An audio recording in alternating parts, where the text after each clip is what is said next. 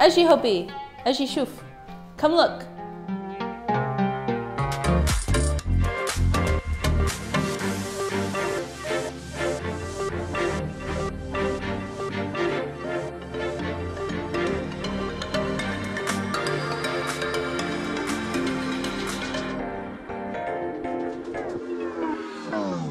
Alaikum khoti khwatati. Welcome back to our channel everybody. Uh, if you're new here, please don't forget to like and subscribe below. Today, we are going to make a dairy-free coffee creamer. This creamer, of course, you can use in coffee, you could use it in tea, you could use it in hot chocolate. Basically, use this creamer as you're gonna use any other dairy creamer. So today we're using almonds, we're using hazelnuts, dates, cinnamon, some boiling hot water. We'll strain it through our nut milk bag, which if you don't have a nut milk bag, buy one. and we'll have our creamer. It'll last for about a week in the fridge, um, but I think it's gonna be so delicious, you're gonna go through it really quickly. So with that said, let's get started. Great, so we will put the recipe right after this and also in the description, so stay tuned for the recipe.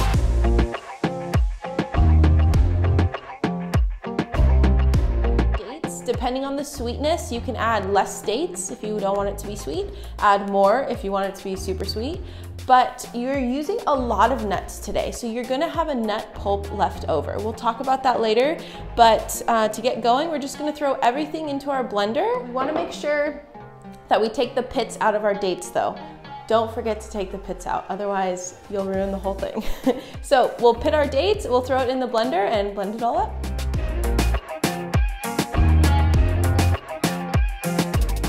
Taking the pits from the date.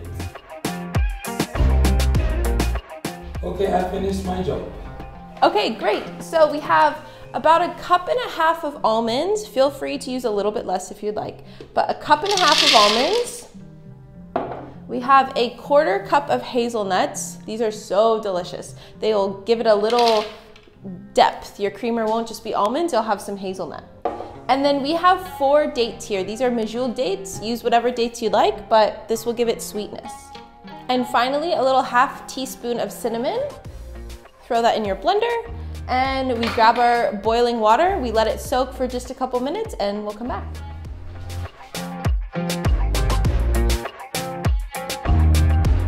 So we have our boiled water, about four and a half cups in here, and we put the lid on and let everything soak. This is the trick to help everything break down a lot. Let it soak in the hot water for about three to five minutes, and then after it's soaked, we'll blend. So we actually created this recipe because my father loves to drink coffee and he loves to use creamer, um, but lately he's been trying to stop drinking so much dairy and use a plant-based creamer. So when mom and dad were here in Morocco, um, we showed them how to make this recipe. And back in California now, he makes this recipe, I don't know, once, twice, a couple times a month, and he loves it. So even for the folks who can't get rid of their dairy creamer, they love it so much, try this recipe really. There's a lot of depth, there's a little sweetness, it's really thick. Um, we think you're gonna love it, so give it a shot. Let us know below.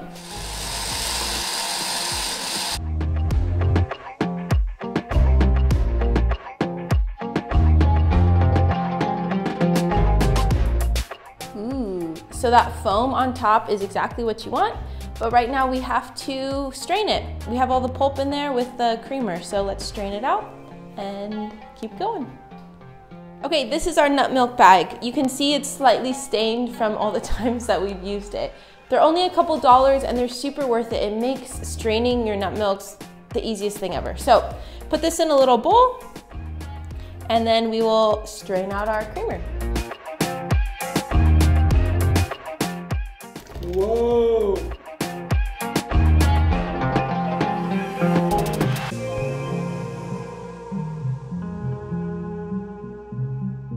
So right now, when you've strained it immediately, it's super hot. So what I like to do is hang this little bag over the bowl.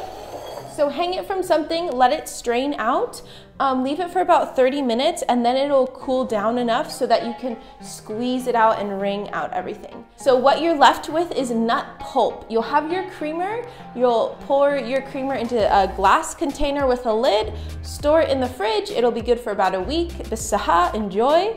But the pulp left in the bag is super important. Try not to throw it away. It can be quite wasteful, right? You have all these nuts in there. Um, try to dry it on the stoves. Put a non-stick pan, pour your pulp, low heat, let it dry out and use it as a substitute for any recipe that calls for almond flour. So it'll be a little bit thicker, but it'll work just as well. We love to use our nut pulp in our banana bread recipe. I'll try to link it right above. It's the perfect recipe uh, to substitute the almond flour for. So with that, we'll wait a moment, we'll try it, and we'll see how it is.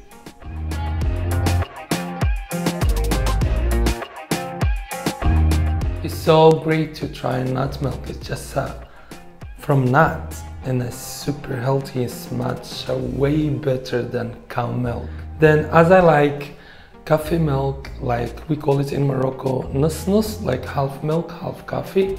Now with the nut milk, I just mix my coffee with it and it's much better than cow milk.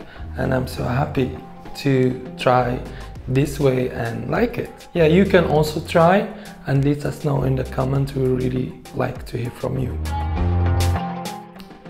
So great. It's good. Try it.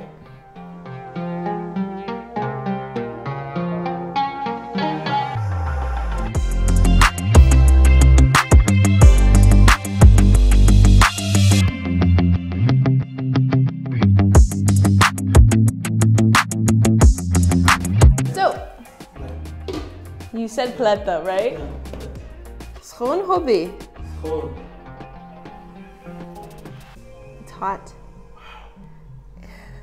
I I told him to wait, but he insisted that he could do it sooner than 30 minutes and he oh, I is not finish the video soon. no. Sabi. Safi. Zoe?